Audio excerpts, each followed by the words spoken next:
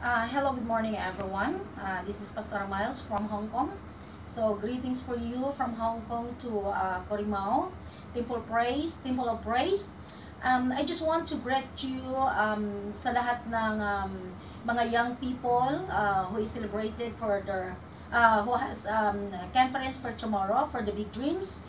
So, is this is my privilege for you guys to greet you uh, and to encourage each one of you to go on, no?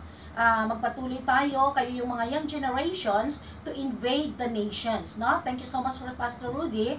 Uh, dahil siya ang ginagamit ng Panginoon for you guys to develop, to equip, and to encourage you to prepare for yourself. First, in a big dreams, we need to uh, prepare for ourselves, of course, spiritually, and of course, education. To educate ourselves, okay, how to um, um, uh, capture the heart of the mission, to bring the mission into the heart of other people in everywhere, in every nation.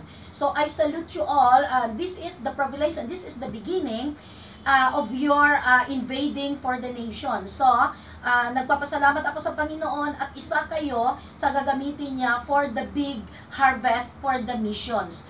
Big dreams, okay, big heart, and uh, big expectation for the great harvest of this year for you. I salute you and God bless you all.